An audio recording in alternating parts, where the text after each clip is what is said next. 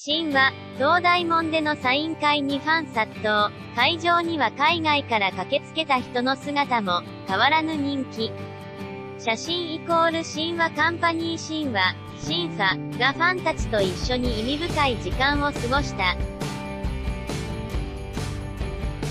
9日、神話カンパニーの公式 SNS を通じて、この日ソウル中、春、区現代シティアウトレット東大門、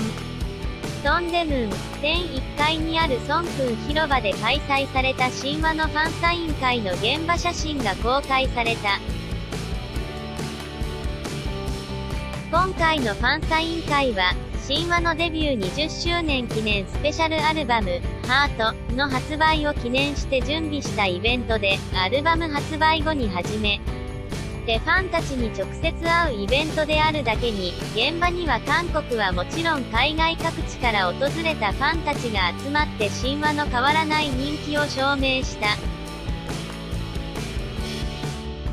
神話のメンバーたちは、終始一貫して優しい笑顔でファンたちを見つめて温かい雰囲気を演出しただけでなく、ファンサイン会に参加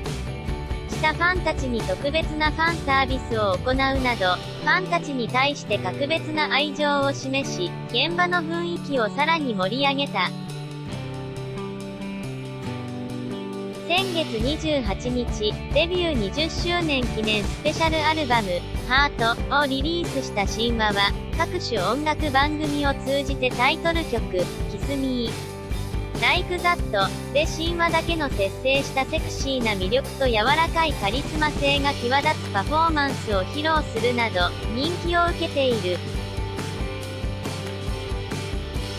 神話は10月6日と7日の2日間、ソウル総合運動場体操競技場で20周年記念コンサートを開催し、10月13日に台湾、11月24日に香港で公演を開催するなど、海外ツアーを続けていく予定だ。こと、神話、2.18KOREAN ミュージックウェーブでステージを披露、溢れるか。リスマ製、シンは、20年間変わらず活動できた秘訣とは、後輩アイドルにアドバイス、お互いに、